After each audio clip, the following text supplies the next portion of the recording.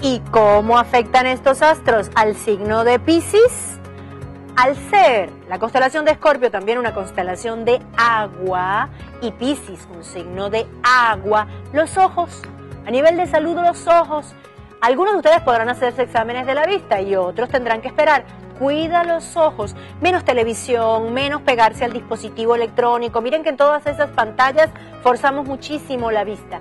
Pero cuidar los ojos, querido Piscis, significa también cuidar dónde pones la mirada.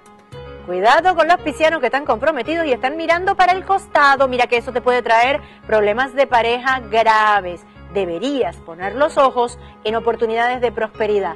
Pon tus ojos en cosas buenas. Pon tu mirada en cosas que te atraigan lo mejor y lo excelente a tu vida.